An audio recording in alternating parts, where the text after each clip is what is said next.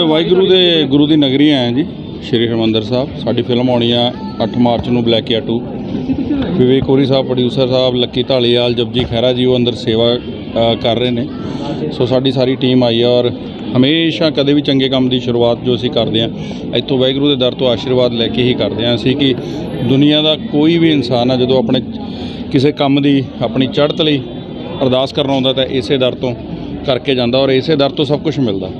ਅੱਜ ਅਸੀਂ ਜੋ ਵੀ ਆ ਜਿੱਥੇ ਵੀ ਆ ਜਾਂ ਅਸੀਂ ਫਿਲਮਾਂ ਕਰ ਰਹੇ ਹਾਂ ਸਭ ਇਸ ਗੁਰੂ ਦੇ ਦਰ ਦੀ ਬਖਸ਼ਿਸ਼ ਹੈ।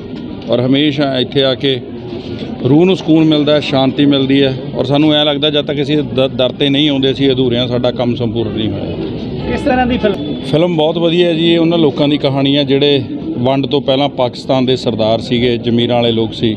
ਵੰਡ ਤੋਂ ਬਾਅਦ ਜਦੋਂ ਇੱਧਰ ਆਏ ਤਾਂ ਬਲੈਕੀਏ ਬਣੇ। ਤੇ ਇੱਕ ਬਹੁਤ ਚੰਗਾ ਮੈਸੇਜ ਹੈ। ਔਰ ਬੜੇ ਵੱਡੇ ਪੱਧਰ ਤੇ ਅਸੀਂ ਫਿਲਮ ਬਣਾਈ ਹੈ।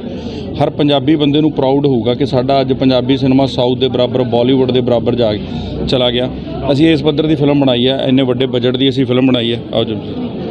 ਤੇ ਪੂਰੀ ਟੀਮ ਪੂਰੀ ਟੈਕਨੀਕਲ ਟੀਮ ਅਸੀਂ ਸਾਰੀਆਂ ਬੈਸਟ ਤੋਂ ਬੈਸਟ ਸਾਊਥ ਤੋਂ ਬਾਲੀਵੁੱਡ ਤੋਂ ਲਈਆਂ ਨੇ। ਕਿਸੇ ਚੀਜ਼ ਦੀ ਕਮੀ ਨਹੀਂ ਛੱਡੀ ਅਸੀਂ ਇੱਕ ਚੰਗੀ ਫਿਲਮ ਬਣਾਉਣ ਦੇ ਵਿੱਚ। ਔਰ ਟ੍ਰੇਲਰ ਨੂੰ, YouTube ਦੇ ਉੱਤੇ ਟ੍ਰੇਲਰ ਆਇਆ, ਉਹਨੂੰ ਬਹੁਤ ਰਿਸਪੌਂਸ ਮਿਲਿਆ।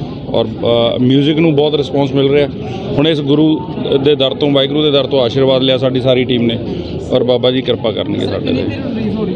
ਦੱਸਿਓ ਜਪਜੀ ਜੀ ਕਿ ਦੇਵ ਖਰੋੜ ਦੇ ਜਪਜੀ ਖਹਿਰਾ ਆਏ, ਹਰਮੰਦਰ ਸਾਹਿਬ, ਅਸੀਂ ਇਸ ਦਰ ਦੇ, ਮਤਲਬ ਅਸੀਂ ਕਹਿ ਸਕਦੇ ਹਾਂ ਕੀੜੇ ਮਕੌੜੇ ਆ ਅਸੀਂ ਦਰ ਦੀ ਧੂੜ ਮਿੱਟੀ ਆ ਹਨਾ? ਸੋ ਇਹ, ਇਹ- ਇੱਥੇ ਅਸੀਂ ਆਸ਼ੀਰਵਾਦ ਲੈਣ ਆਏ ਆ ਐਦਾਂ ਐਦਾਂ ਕਿਹਾ ਕਰੋ।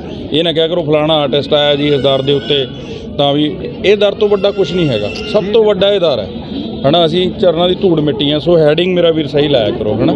ਓਕੇ ਤੁਹਾਡਾ ਬਹੁਤ ਬਹੁਤ ਧੰਨਵਾਦ, ਸ਼ੁਕਰੀਆ। ਸਾਰੇ ਜਾਣਿਆਂ ਨੂੰ ਇਹੀ ਬੇਨਤੀ ਹੈ ਕਿ ਜਾ ਕੇ ਜ਼ਰੂਰ ਫਿਲਮ ਦੇਖਿਓ ਪੰਜਾਬੀ ਸਿਨੇਮਾ ਨੂੰ, ਪੰਜਾਬੀ ਜ਼ੁਬਾਨ ਨੂੰ ਸਪੋਰਟ ਕਰਦੇ ਰਹੋ, ਔਰ ਅੱਜ ਅਸੀਂ ਆਏ ਹਾਂ ਇੱਥੇ ਆਸ਼ੀਰਵਾਦ ਲੈਣ, ਤੇ ਤੁਹਾਡੀਆਂ ਦੁਆਵਾਂ ਸਦਕਾ ਫਿਲਮ ਜਿਹੜੀ ਉਹ ਬਣ ਚੁੱਕੀ ਹੋਈ ਆ ਔਰ ਬਾਕੀ ਹੁਣ ਬਾਬਾ ਜੀ ਦੀ ਮਿਹਰ ਹੈ ਜੀ।